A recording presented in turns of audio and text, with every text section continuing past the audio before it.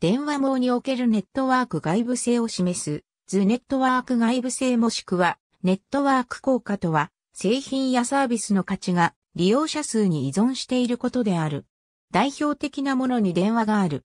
例えば、電話網への最初の加入者の便益は明らかにゼロである。二人目の加入者には、一人目の加入者と通信ができるという便益があるため、この便益を加入に伴い費用と比較して、実際に加入するかどうかを決定することができる。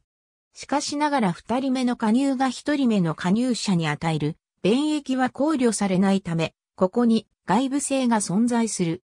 同様に、三人目の加入者は、先の二人と通信できるという便益と加入の費用とを比較して、実際に加入するかどうかを決定することができる。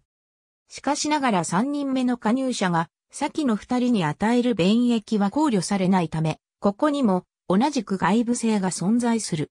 負のネットワーク外部性もある。また、ロックイン効果をもたらすこともある。正のネットワーク外部性は、バンドワゴン効果をもたらすことがある。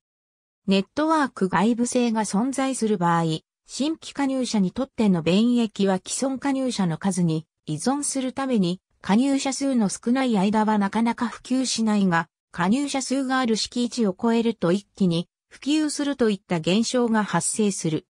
ミクロ経済学におけるネットワーク外部性の理論化は、1985年から1995年にかけて4人の研究者によって顕著に進んだ。正のネットワーク効果は、ロバート・メトカーフによって大衆向けにメトカーフの法則と呼ばれた。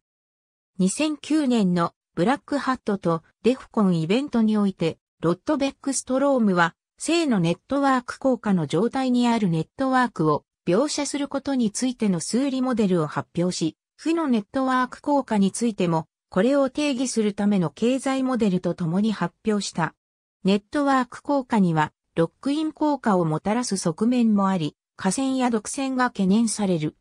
その典型例として挙げられるのが、マイクロソフト製品やクワーティキーボードである。負のネットワーク効果は、ネットワークの安定性ひいてはその価値について正のネットワーク効果とは逆の効果を持つものを言う。交通経済学における渋滞、通信ネットワークにおける複層、ブライスのパラドックスなどが挙げられる。ありがとうございます。